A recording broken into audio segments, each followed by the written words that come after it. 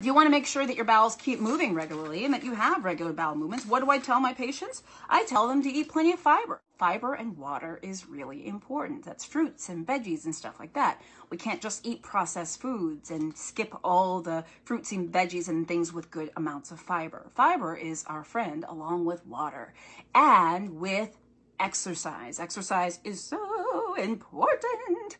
Look, if you have any questions about anything going on with your body, as I always say, I want you to talk to your doctor. Um, I hope this is helpful. The video I made that's um, kind of going viral right now is called "A Doctor Explains the Truth About Colon Cleanses." That is in the description of the video on YouTube. And also I've got that uh, in the description of my video on Facebook. So check that out. Guys, I hope this was helpful. Keep the um, ideas coming. Let me know what other topics you want to talk about. Uh, make sure that you hit get notifications for my lives. And if you've not followed me on all the other um, the other channels, uh, Instagram, Facebook, YouTube, please do. I'm at Dr. Jen Caudle. Okay, guys, I will see you soon.